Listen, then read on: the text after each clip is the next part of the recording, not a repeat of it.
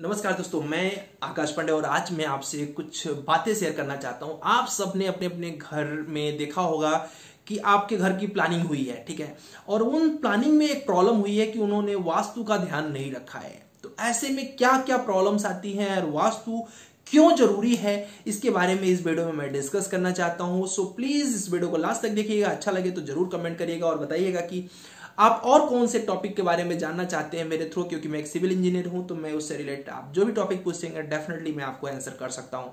दोस्तों, वास्तु बहुत ज़रूरी है आपके घर के लिए। अगर आप लोग प्लानिंग करवा रहे हैं, ठीक है, मैं ये मान के चल रहा हूँ कि हमारी ऑडियंस जो है, ये सिविल इंजीनियर नहीं है। अगर आप प्लानिंग करवा रहे हैं तो आप प्लीज़ अपने जो भी इंजीनियर है उनको बोलिए कि मुझे वास्तु के अकॉर्डिंग प्लान चाहिए। उसका रीजन ये होता है साइंटिफिक तरीके से वास्तु बहुत अच्छा होता है।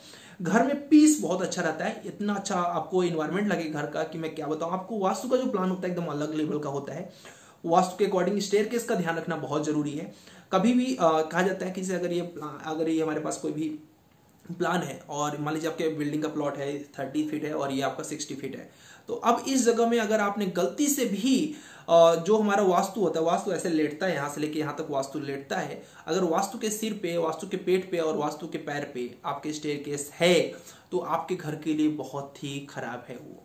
सो प्लीज़ इंजीनियर को बोलिए कि आप लोग वास्तु बनवाइए क्योंकि वास्तु बहुत इंपॉर्टेंट होता है।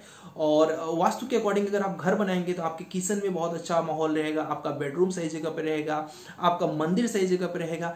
आज के टाइम में मैंने देखा है लोग डिज़ाइन uh, के चक्कर में बोलते हैं कुछ भी बना दो। नहीं कुछ भी मत बनवाइए वास्तु का बहुत बड़ा रूल है क्योंकि मैं खुद एक सिविल इंजीनियर हूँ तो मैं बता सकता हूँ आपको कि वास्तु के बेनिफिट्स क्या क्या हैं। तो सबसे पहला बेनिफिट्स तो ये रहता है कि यार सिस्टमैटिक हो जाता है सब कुछ प्रॉपर सिस्टमैटिक हो जाता है। कहाँ पे तुलसी का पौधा चाहिए? तुलसी के पौधे का इंपॉर्टेंस क्या है? ये आप सबको पता है।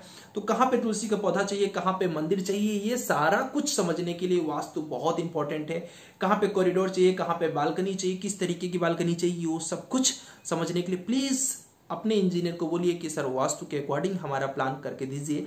और अगर उसके अकॉर्डिंग कर नहीं कर पा रहे हैं तो अगर आपको प्रॉब्लम हो रही है तो आप मुझसे कांटेक्ट कर सकते हैं, यहाँ पे कमेंट कर सकते हैं कि, सर, मुझे वास्तु के अकॉर्डिंग प्लान बना के दीजिए।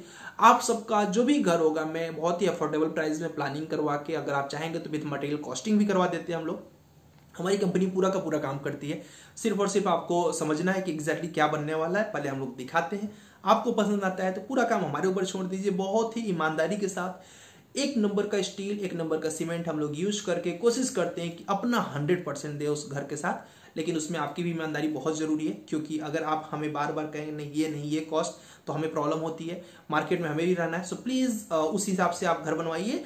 कि आपको लॉस भी ना हो और आपको लाइक अच्छा चीज़ मिले, क्योंकि घर वगैरह जो भी होते हैं, ये सब एक दिन के लिए नहीं, हमेशा के लिए बनाए जाते हैं।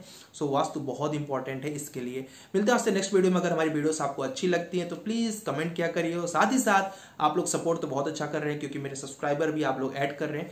तो इस तरीके के बेसिक्स फंडामेंटल जो हमारे घर के लिए होते हैं, वो सब आपको इस चैनल पे मिलते रहेंगे। अभी आगे हम लोग बताएँगे किस तरीके से मॉडलिंग वगैरह कर सकते हो, किस तरीके से अगर आपके पास कोई भी व्यापार नहीं है इस समय मार्केट में तो किस तरीके से व्यापार क्रिएट कर सकते हो? कंस्ट्रक्शन लाइन में एक अच्छा व्यापार हमेशा रहा है और आपको पता है कि देश का दस परसेंट जीडीपी इस इस सेक्टर के थ्रू चल के जाता है।